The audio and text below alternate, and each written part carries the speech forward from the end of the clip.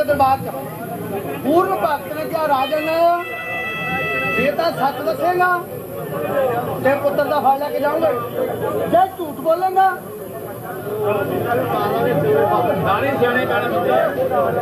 ਦੇਹੀ ਨੂੰ ਕੋਲ ਹੋ ਜਾਊਗਾ। ਰਾਜਨ ਇੱਕ ਗੱਲ ਹੋਰ ਆ। ਰਾਣੀ ਰਾਜਨ ਮੈਨੂੰ ਐ ਸ਼ੱਕ ਪੈਂਦੀ ਕਿ ਤੁਹਾਡੇ ਘਰੇ ਔਲਾਦ ਹੋ ਚੁੱਕੀ ਆ। ਰਾਜਾ ਸੁਲਤਾਨ ਦੋ ਚਾਰ ਕਰਮ ਦੇ ਫਾਸਲੇ ਤੇ ਰਾਣੀ ਨੂੰ ਉਹਨਾਂ ਦੇ ਕੋਲ ਗਿਆ ਰਾਣੀ ਸਾਹਿਬ। ਹਾਂ ਰਾਜਨ। ਰਾਣੀ ਸਾਹਿਬ। ਵਕੀਲ ਤਾਂ ਕਹਿੰਦੇ ਤੁਹਾਡੇ ਘਰੇ ਔਲਾਦ ਹੋ ਚੁੱਕੀ ਆ। ਰਾਣੀ ਕਹਿਣ ਲੱਗੀ ਰਾਜਨ ਵਕੀਲ ਸੱਚੇ ਤੇ ਆਪਾਂ ਝੂਠੇ। ਰਾਜਨ ਉਹ ਕਿਵੇਂ?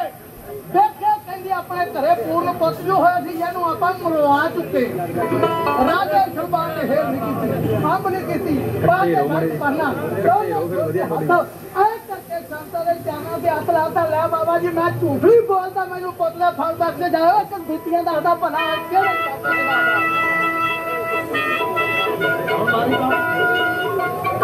ਬਾਬਾ ਤਗੜਾ ਹੋ ਗਏ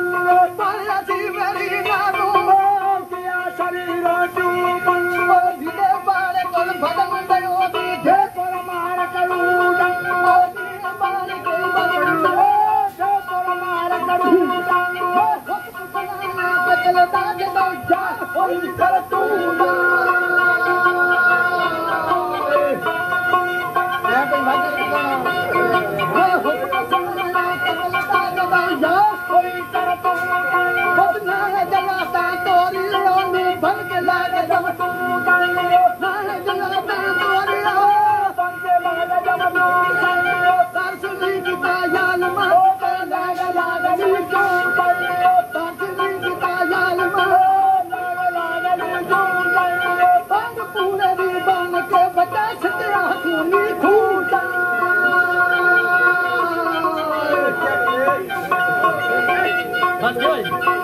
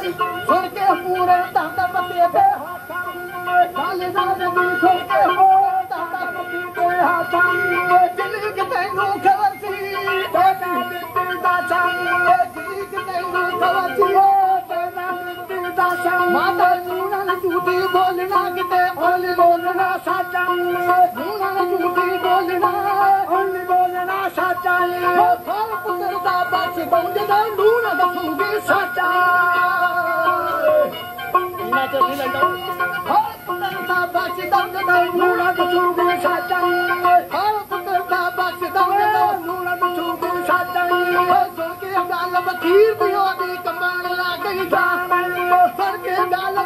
بالبي